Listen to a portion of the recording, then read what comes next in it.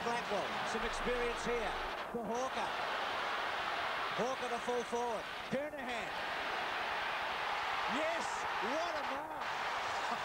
Sensational. Oh, that is great stuff. Well, Don Scott mentioned yesterday about your hair standing on the back of your head. What about that one? Well, the wheels look like they might be starting to fall off for Melbourne. 11 points of difference. Well, we said it five minutes ago, Don. You'd want this man kicking for your life. But he kicked a point last time, Bruce. And he did. And let's see if he can make amends.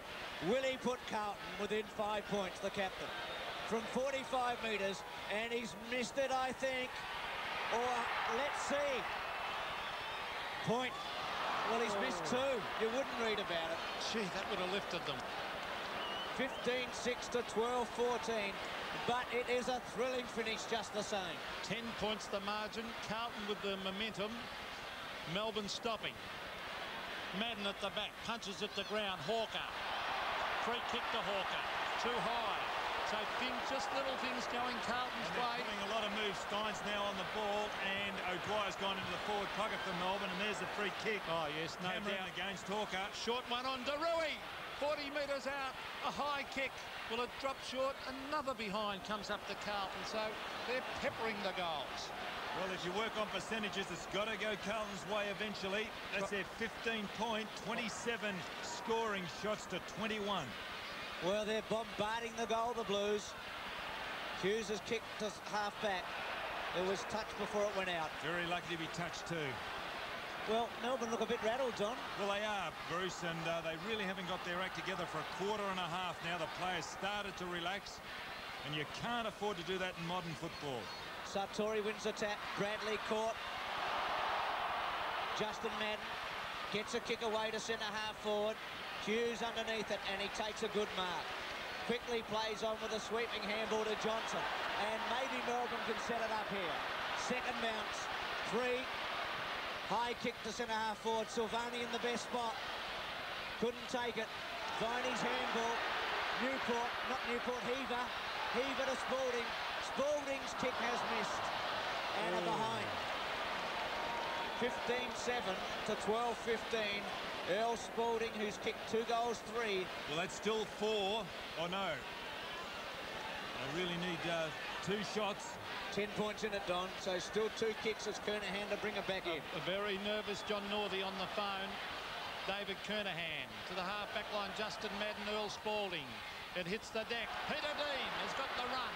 Dean the long kick to half forward. Gleeson in front. Punched over the top. Here's Nayley. It sits for him. Nayley trying to get onto the left foot. Hooks it back towards the half forward line. The mark has been taken by Brett Lovett. Melbourne players just not manning up. They're giving a little bit too much latitude to all Carlton players.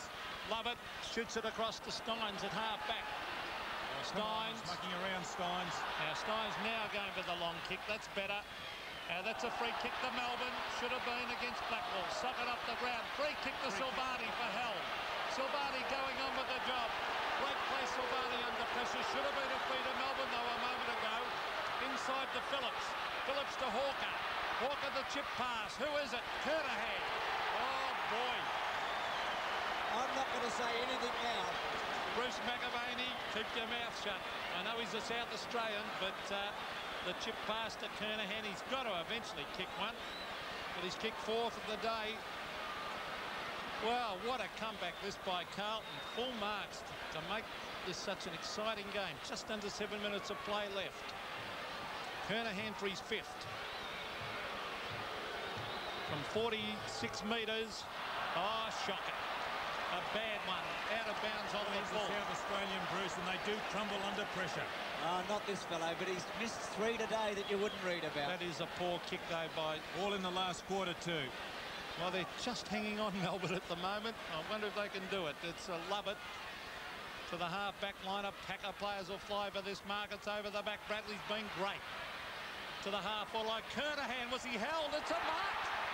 Oh, he is a dead set star. Kernahan, he is killing him. He's not doing it on the scoreboard, not capitalising. 13 marks today. He's Well- just too big. I would have left Stynes there and told Stynes to get in front of him because Stynes did it in the second and third quarter and started to limit Kernahan. Well, this.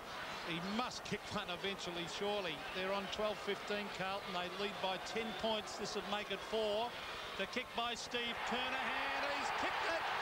Four points the margin. The Blues are coming at Melbourne.